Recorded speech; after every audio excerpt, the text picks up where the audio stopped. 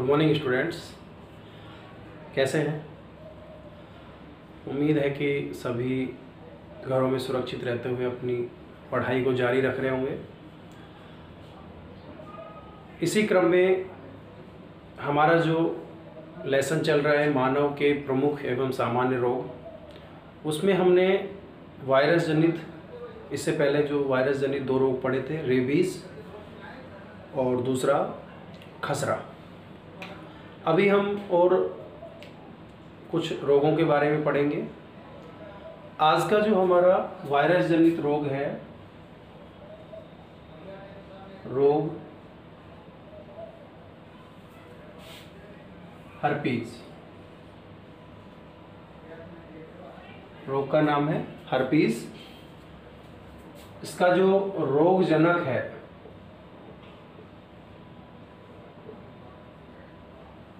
वो है herpes simplex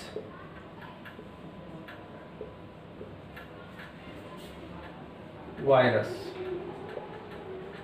यानी H S V herpes simplex virus, यानी एच एस वी इसका जो संचरण होता है, यानी जो फैलाव होता है वो असुरक्षित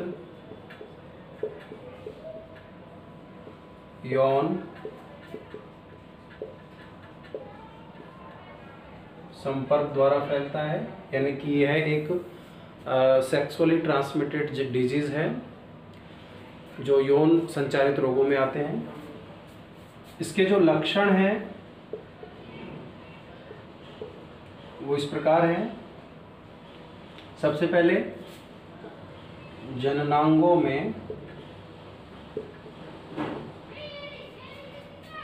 जलन व खुजली, जनरल खुजली व दर्द होना। दूसरा, जननांगों में छोटे छोटे दाने या छाले उभरना यानी दाने उभर सकते हैं छाले उत्पन्न हो सकते हैं जननांगों में। इसका बचाव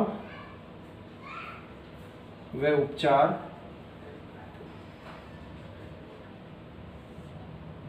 इस प्रकार से है कि असुरक्षित यौन संपर्क से बचना चाहिए।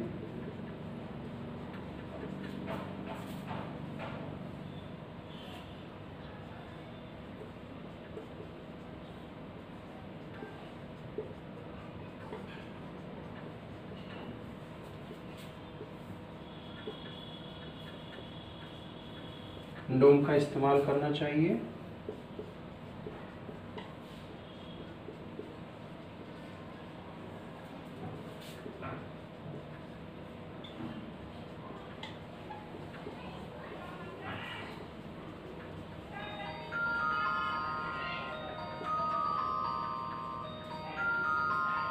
एसाइलोवीर नामक दवाओं का सेवन करना चाहिए। तो इस तरह से हमने देखा कि जो रोग है हर्पीज रोगजनक इसका हर्पीज सिंप्लेक्स वायरस एच संचरण इसका होता है असुरक्षित, यौन संपर्क द्वारा, लक्षण इसका है जननांगों में जलन, खुजली व दर्द होना जननांगों में छोटे छोटे दाने या छाले उभरना, असुरक्षित यौन संपर्क से बचना चाहिए, इसका बचाव है, और कंडोम का इस्तेमाल करना चाहिए, और एसाइलोवीर नामक दवाओं का सेवन करना चाहिए, ये इसका उपचार है।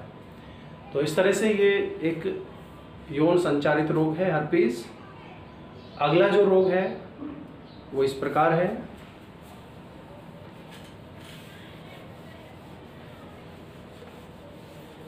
अगला रोग हम पढ़ रहे हैं, जो वायरस से होने वाला जो रोग है, वो है पोलियो। बहुत ही कॉमन रोग है। बचपन से पोलियो की दवाएँ बचपन में पी है, पी जाती है और अभी इसका जो लगभग उन्मूलन हो चुका है तो पोलियो जो है, उसका रोगजनक पोलियो वायरस है। यानी यह भी एक वायरस से होने वाला रोग है। इसका संचरण जो होता है, वो होता है दूषित जल व भोजन के सेवन द्वारा फैलता है ये। यानी अगर अपन दूषित खाना खा लेते हैं या पानी पी लेते हैं और उसमें ये पोलियो वायरस है तो वो संक्रमण फैल जाएगा इसका। इसके जो लक्षण हैं, वो मुख्य रूप से जो हाथ पैर हैं वह कटी प्रदेश, यानी कि कमर वाला जो क्षेत्र है, में, ये वाला जो क्षेत्र है, ये सबसे ज़्यादा प्रभावित होता है और इसमें संवेदनशीलता समाप्त हो जाती है। यानी कि ये क्या हो जाता है? हाथ पैर व कटी प्रदेश, यानी कमर जो है, वो क्षेत्र निष्क्रिय हो जाना। वो काम नहीं करता है, निष्क्रिय हो जाता है। और विकलांगता उत्पन्न हो जाती है।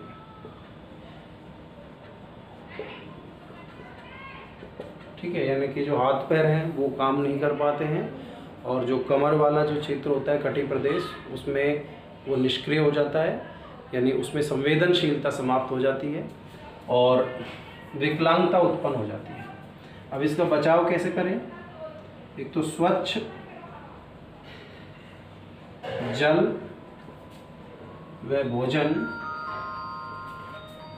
का सेवन करना चाहिए। दूसरा हम देखें, बचपन में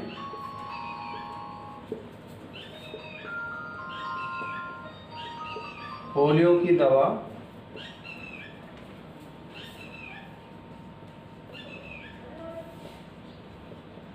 पिलानी चाहिए। यानी पोलियो की जो दवा है, उसका सेवन करना चाहिए तो ये रोग नहीं होगा, ठीक है? तो टीकाकरण में इस पोलियो की दवा को शामिल किया गया है। तो जो सेकंड रोग आज हमने पढ़ा, वो है पोलियो, रोगजनक पोलियो वायरस। संचरण दूषित जल व दूषित भोजन के सेवन से फैलता है। लक्षण हाथ, पैर और कमर वाला जो क्षेत्र है, उसमें निष्क्रियता उत्पन्न हो जाती है और शरीर में विकलांगता आ जाती है। बचाव के रूप में हमें स्वच्छ जल और स्वच्छ भोजन का सेवन करना चाहिए। और जो पोलियो की दवा है वो जब भी पिलाई जाती है, उसको रेगुलर बच्चों को पिलाना चाहिए। इस तरह से हम ये रोगों से बच सकते हैं। तो विषाणु जनित रोग जो हैं, उनको, उनसे बचने के लिए जो टीकाकरण है, वो बहुत ही ज़्यादा फ़ायदेमंद है। प्रॉपर टीकाकरण होना चाहिए और बच्चों की इम्यूनिटी यानी प्रतिरक्षा को मज़बूत बनाए रखना चाहिए। और इसी के साथ हमारा जो ये टॉपिक है, ये समाप्त हुआ। अपने घरों में रहते हुए, सुरक्षित रहते हुए अपनी पढ़ाई को जारी रखिए। Stay home be safe